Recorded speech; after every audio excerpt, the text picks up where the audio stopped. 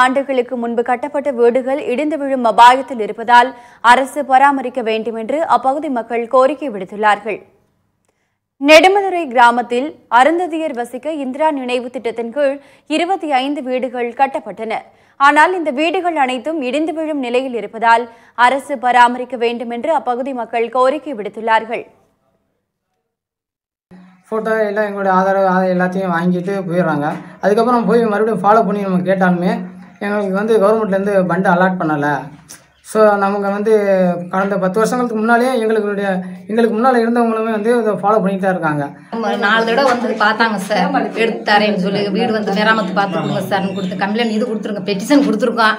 ஆனால் அவங்க வந்து பார்த்துட்டு வந்து எதுவுமே சொல்லமா பதில் சார் எங்களுக்கு வரமாட்டேங்குது. பிள்ளையில வச்சுக்கிட்டு படுக்க முடியல எங்களுக்கு பயமா கிடக்கு. இப்போ விழுந்து இப்போ ரெண்டு மாசம் இருக்குங்க சார். மழை அப்பெல்லாம் பிள்ளையில போட்டு தான் படுத்து கிடந்தது சார்.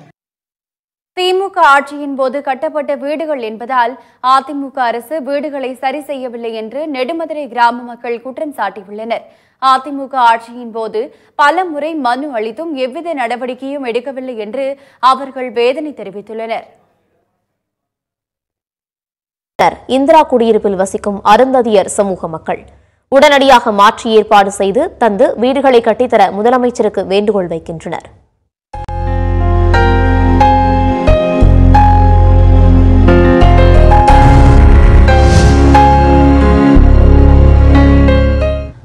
மதுரை மாவட்டம் திருப்பரங்குன்றம் ஊராட்சி ஒன்றியத்தில் உள்ள நெடுமதுரை கிராமத்தில் கடந்த இருபது ஆண்டுகளுக்கு முன் திமுக ஆட்சியில் இந்திரா குடியிருப்பு திட்டத்தின் கீழ் அருந்ததிய சமூக மக்களுக்காக வீடுகள் கட்டி கொடுக்கப்பட்டது.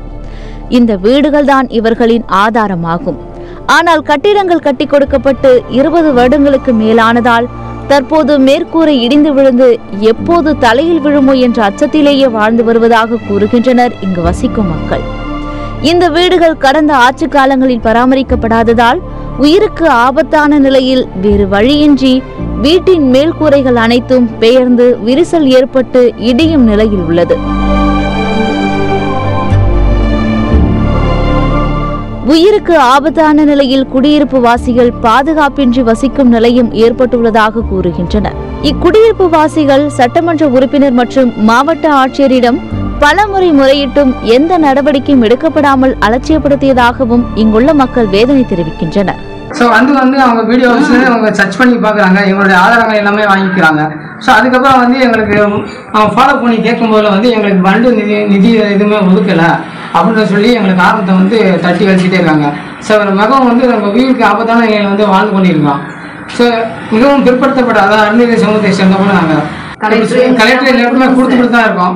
சரி வண்டி ஒதுக்கலான்ற மாதிரி எங்களை கழிச்சுக்கிட்டே இருக்காங்க தட்டி கழிச்சுக்கிட்டே இருக்காங்க. ஸோ இந்த வீடு வந்து எங்களுக்கு கலைஞர் வீட்டில் தான் கட்டி கொடுத்தாங்க. ஸோ வந்து எங்களுக்கு எங்களுக்கு புதிய வீடு வந்து ஸ்டாலின் ஐயா வந்து எங்களுக்கு கட்டி கொடுக்கணும்னு சொல்லி எங்கள் எங்களுடைய அருணை சமூகத்தை சார்பாக வந்து உங்கள் பணிபுரியும் கேட்டுக்கொள்கிறோம். கட்டி கொடுத்து இருபது வருஷம் ஆச்சு. கட்டி இது இந்த வேலையை மிராமத்து பார்த்து கொடுக்கட்டும் ஆஃபீஸர்கள்லாம் வந்து வந்து பார்த்துட்டு போட்டோ எடுத்துகிட்டு போனாங்க. போட்டோ எடுத்துகிட்டு போன பின்னாடி மறுபடியும் இன்னும் இந்த தாரம் அந்த தாரம் எதுவுமே தாரது மாதிரி தெரியலை. இந்த பெரிய அதிகாரியெல்லாம் கேட்டு பார்த்தேன் ஊர் ஊராட்சி தலைவர் அவர்கிட்டையும் கொடுத்தாச்சு. அங்கே மனு கொடுத்துட்டு வந்தோம் அதுக்கு எதுவுமே வந்து தரல இந்த வரது இந்த என்னமோ பார்த்து நீங்கள் உங்கள் மூலியமாக இதை நல்லபடியாக செஞ்சு கொடுத்தா நல்லது. தற்போதும் எங்களை எந்த அதிகாரிகளோ எம்எல்ஏக்களோ கண்டுகொள்வதில்லை என வருந்துகின்றனர். தற்போது திமுக தலைவர் மு க ஸ்டாலின் துரிதமாக பல்வேறு பணிகளை செய்து முடித்து வருவதாகவும் சமத்துவபுர குடியிருப்புகளைப் போன்று தங்களது குடியிருப்புகளையும் அரசு சார்பில் பராமரிப்பு செய்து தர வேண்டுமென தமிழக அரசுக்கு வேண்டுகோள் விடுத்துள்ளனர். இந்திரா குடியிருப்பு வீடுகள் இனிய இல்லங்களாக மாற வேண்டும். இன்னல்களை களைய வேண்டும். சத்தியம் செய்திகளுக்காக மதுரை செய்தியாளர் கார்த்திக் ஒளிப்பதிவாளர் செந்திலுடன் செய்திக்குழு.